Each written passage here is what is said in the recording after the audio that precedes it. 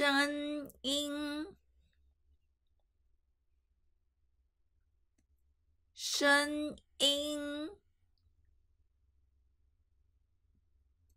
声音。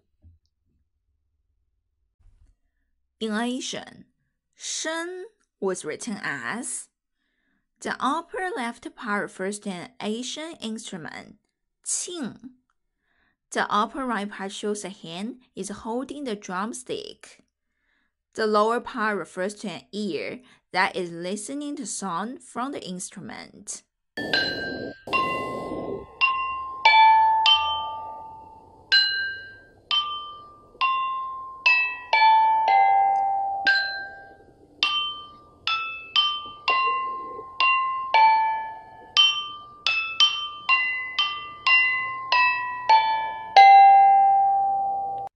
So the original meaning of sheng is son, voice, sheng yin.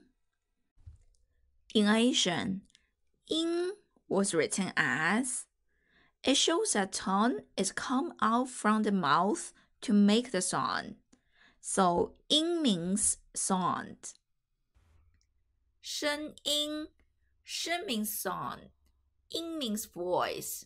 So 声音 is sound。他一听到妈妈进门的声音，就把电视关了。